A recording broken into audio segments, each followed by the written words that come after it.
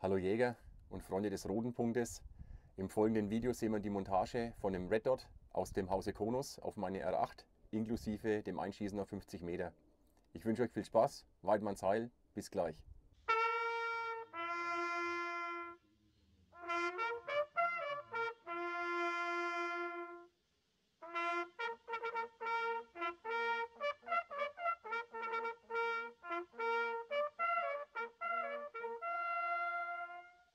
Hi Freunde, cool, dass ihr noch dabei seid.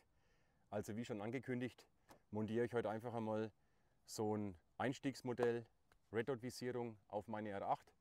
Die Aufnahme, die habe ich schon länger drauf ja, und immer hat sich nicht ergeben, ist ja scheißegal. Letztendlich wisst ihr selber, die Ernte steht vor der Tür. Der Mais ist sozusagen bald reif und ich will mal einfach die Option offen halten, ähm, trotz Zielfernrohr einen flüchtigen Schuss abgeben zu können. Deswegen ist jetzt der Plan, kleines Unboxing.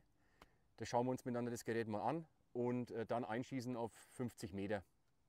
So der Plan. Ja, mit Material, das seht ihr hier, meine R8, das ist meine Jagdwaffe, mit der gehe ich raus, mit der decke ich so gut wie alles ab. Ja. Ähm, außer dann eben Hasenjagd und Raubwild, aber ansonsten mache ich mit der alles. Glas drauf von DD Optics, D-Doptics, kennt ihr ja bei mir. Ähm, ja, und äh, momentan probiere ich Munition aus von Brennecke. Bleifrei. Ich habe schon ein paar Schuss abgegeben. Ich bin eigentlich sehr zufrieden. Das ist ein Geschoss mit 147 Grain. Ja, Tuck Nature. Und ja, mit der schieße ich heute einfach mal das Konus ein und mit der will ich jetzt heraus. Heute ist der 1. September. Ähm, somit sind alle Rehe erstmal offen. Ja, so der Plan. Und jetzt machen wir das Ding mal auf, bevor ich euch noch weiter voll laber. Was haben wir dabei? Garantie schreiben, braucht Kassau, ja, in x verschiedene Sprachen, ganz toll. Dann die Bedienungsanleitung, auch in verschiedensten Sprachen.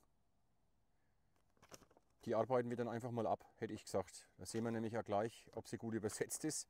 Das ist ja immer ein Problem. Ähm, und ob sie funktioniert. Ein Reinigungstüchlein für, na sag's mal, für die Linse. Ja, da empfehle ich euch, das habe ich glaube ich sogar schon so weit durch. Ähm, schaut, dass ihr immer, seht ihr hier, ja, dass ihr einfach immer in eurem Jagdschein etwie sowas schon dabei habt. Das ist nicht das Schlechteste. Ich habe sogar noch Pflaster drin. Was habe ich noch drin? Ja, ganz wichtig für die Drückjagden, die Texte äh, für die Jagdhorn-Signale und so weiter. Also wirklich gibt es ja Texte dazu, das wisst ihr ja alle. Meine Revierkarte. Jetzt, wenn wir schon dabei sind, gehen wir es durch ähm, Drittsiegel. Dann, äh, ich bin ja auch Fallenjäger, habe den Fallenlehrgang gemacht. Ja. Dann ist hier so eine Broschüre zum Thema Fallenjagd, wegen Tipps und Rechtliches. So, ich denke, jetzt habe ich euch genug vollgelabert mit dem Zeug. Eine Kopie von meinem Ausweis, falls ich meinen Geldbeutel nicht dabei habe. Ja, WBK und Jagdschein. Gut, machen wir mit dem Gerät weiter. Es ist dabei ein Schraubenzieher, Schraubendreher, mein Fehler, sorry. Ein Inbusschlüssel. Ah, dann so eine äh, Adaptierung für das Red Dot, wenn ihr eben keine Picatinny-Schiene habt oder Picatinny-Wiefer-Aufnahme. Leider bin ich jetzt zu wenig Sportschütze und erfahren, wie die Adaptierung heißt dafür. Ich halte es mal in die Kamera. Dürft ihr gerne in die Kommentare schreiben. Das schaut wenig so nach Luftwehr aus. Ich habe keine Ahnung. Bin ich, wie gesagt, auf eure Hilfe angewiesen. Auf jeden Fall ist es ein Adapter. Den brauche ich natürlich nicht. Das Tüchlein schmaße ich dann über. So, und dann das wichtigste Teil, das Eyesight. Na, hat eine schöne Schutzkappe. Ich zeige es euch einmal ein wenig. Ziehen wir ab. Ja, mal alle Ansichten. Da schaltet man es ein, ziemlich sicher. Da oben habe ich Verstellung. Na, seht ihr hier. Ähm, da ist auch wieder Verstellung. Und da ist der Glammering. So, schauen wir mal versuchen, dass man so durchschauen könnt. Also so sieht es aus, klein, schnuffig, kompakt. Und der Plan ist, das jetzt eben da drauf zu bauen. Das mache ich auch. Dafür durch die Kappe wieder drauf, man weiß ja nie. Und ich gehe jetzt einfach mal vor, nach dem, was mir hier geraten wird. Montage. So, um auf dem Pointer eine Aufsteckschienen Punkt 22 Kaliber zu montieren Befestigungsschraube 8, das die da, lösen. Machen wir. Aufsteckschiene montieren und mit dem zugehörigen Schlüssel gut befestigen. Also das Top Thatcher gehört mit dem Schlüssel gut befestigen, was auch immer das heißt, ja. Handfest oder 2 äh, Newtonmeter, ich habe keine Ahnung, ja, was, was, da bin ich leider zu arg Maschinenbauer, das regt mich hier auf. Also wenn man schon so äh, eine Anleitung macht, wäre es natürlich nicht schlecht, wenn man versuchen würde, äh, ein Drehmoment mit anzugeben. So, und jetzt schauen wir mal, wie es hier weitergeht. Jawohl. Ich schiebe es ganz nach vorne. Und jetzt drehen wir es mal erst handfest.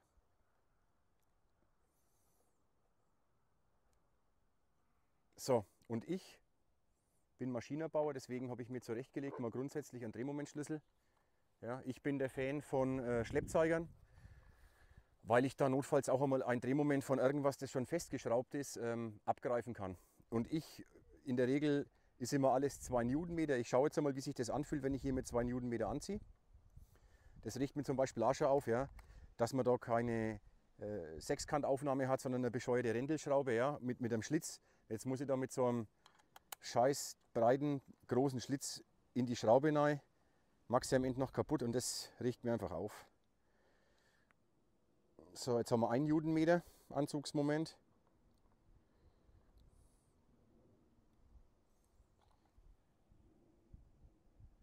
Also ich traue mir nicht mehr, das fühlt sich nicht gut an. Wir lassen es einmal so. Das war eigentlich schon die ganze Montage. So, Batteriewechsel interessiert mich nicht. Verwendung. So, halten Sie die Taste 5, das ist die da. Mehr als zwei Sekunden gedrückt. Bla bla bla, dann geht er an. Okay, das machen wir jetzt dann gleich einmal. Ich mache mal meinen Schalldämpfer runter, weil ich jetzt dann das klassisch mache wie beim Zielfernrohr auch. Ich schaue durch den Lauf. Und dann schaue ich, wo der Rotpunkt liegt.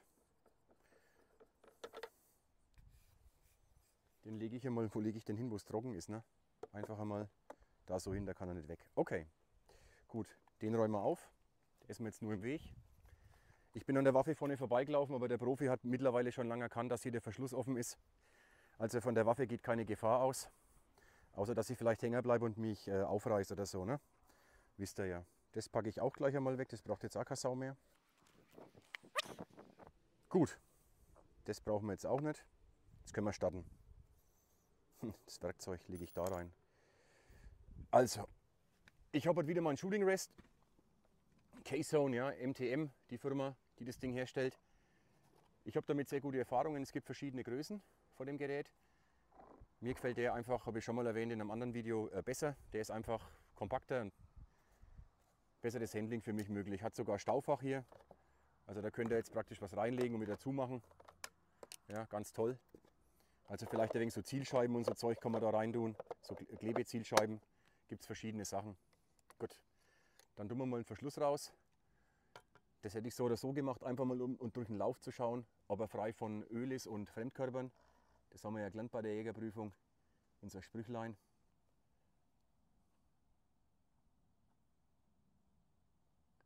Und dann schauen wir mal, wo der Rotpunkt ist. Ich habe vorhin noch drauf geschaut. Die Verstellung auf 100 Yards äh, sind, ist ein, ein Klick, sind praktisch ein MOA, also 2,9 cm. Äh, das heißt also bei 50 Meter muss man es entsprechend immer verdoppeln. Ja, das schaut ganz gut aus. Und letztendlich, ähm, die etwas schneller denken wie ich, haben jetzt schon festgestellt, du hättest jetzt ja genauso gut da ein Absehen einstellen können. Du hast ja die Waffe eingeschossen, genauso schaut es aus. Also ich bin beeindruckt, wie gut ich das gemacht habe. Ich bin jetzt genau im Bullseye. Und jetzt schalten wir das Ding einmal ein.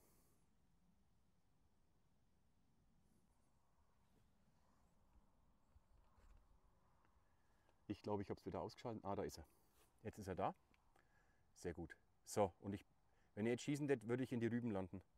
Also die Waffe ist immer noch, und da seht ihr mal, wie, wie, wie gut dieser Shooting Rest wirklich ist. Die ist immer noch da, wo sie sein sollte. Jetzt habe ich es ein wenig nachjustiert. Zack. Also ich versuche das bewusst wirklich One-Cut zu lassen, auch für die Schlauberger, dass das einfach alle mal sehen. Das ist ja auch kein Zufall, das wiederhole ich immer gerne in Videos, dass ich das im Revier mache, damit einfach alle sehen, ey, jagdlich betrachtet ist das echt nicht so schwierig, wie ich mir das vorgestellt habe. Das ist ja die Absicht, die ich habe. Ihr braucht jetzt kein, äh, keine Ahnung, keine Werkstatt oder spezielles Licht oder, oder Spezialwerkzeug. Ihr braucht eigentlich nur Sachverstand. Mehr braucht ihr eigentlich nicht. So. Okay. Also da bin ich gut weg. Das Schöne ist, ich muss jetzt nicht viel zählen im, im eigentlichen Sinn, weil ich ja weiß, wo es Absehen steht und da will ich jetzt mit meinem Rotpunkt hin. Und jetzt schauen wir mal. Ich probiere es jetzt einfach einmal aus, Leute. Ja.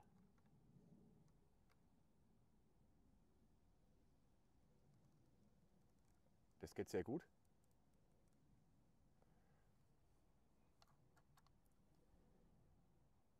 Ja, das ist gut. Elevation, gell? Wegen auf mit dem Ding.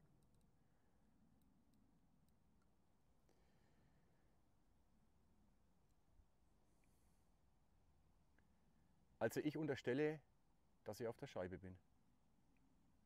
Wir machen es jetzt einmal so, ich gebe jetzt halt einen Schuss ab, indem ich das Zielfernrohr benutze und dann auf dem Fuß folgend gebe ich einen Schuss ab mit dem Red Dot. Ich will es jetzt aber trotzdem noch ein wenig nachjustieren. Also ich bin ziemlich sicher, dass ich auf der Scheibe bin. Draufgeschissen. Also wie gesagt, ich lade jetzt mal zwei Schuss da mit der Munition. Die zeige ich euch ganz kurz einmal, die Patrone. Na, so schaut die aus. Ja. Tug Nature, bleifrei von Brennecke. Die war neulich im Angebot. Schlug, so schlug ich zu. Ja. Und jetzt schauen wir mal. Da bin ich jetzt sehr gespannt, aber es schaut Wir werden sehen. Ups, mein Fehler.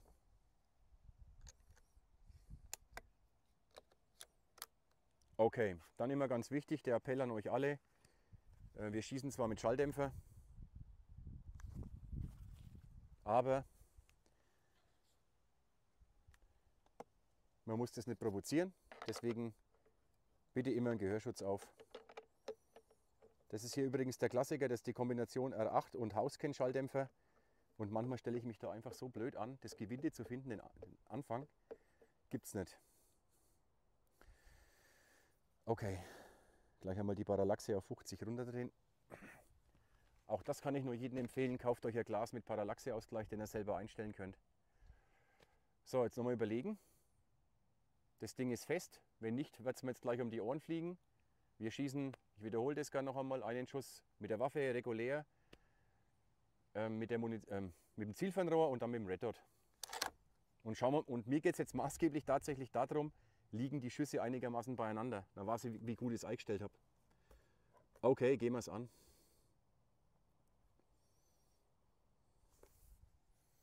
Ich mache jetzt trotzdem noch einmal einen Kontrollglotzer. Gespannt ist er noch nicht, habt ihr ja gesehen. Also jetzt, jetzt bin ich wirklich im Bullseye nach Absehen. Ich bin ohne, das kann nicht, muss passen. Schauen wir einfach mal.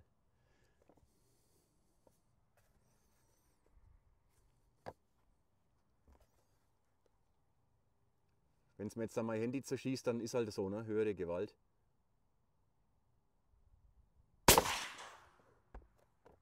So, also erster Schuss und jetzt schießen wir Red Dot.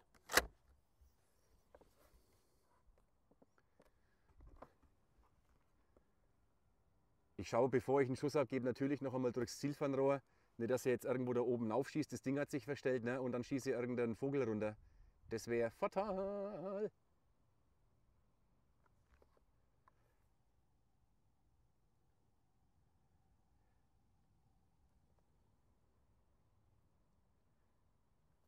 Ich mag's, ich mag's komplett anders. Nee, mache ich nicht. Also ich ziele jetzt, mit, jetzt definitiv mit dem Rotpunkt. Ich habe jetzt noch einmal abgeglichen. Ähm, für alle Verschwörungstheoretiker verstelle ich jetzt die Waffe noch einmal und jetzt ziele ich mit dem Rotpunkt und schieße und dann weiß ich sicher, ob es passt.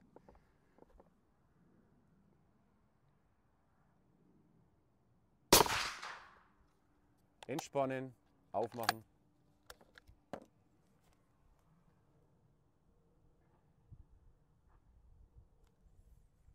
Irgendein komisches Geräusch gehört ihr bestimmt auch. So, also die Waffe ist offen und leer.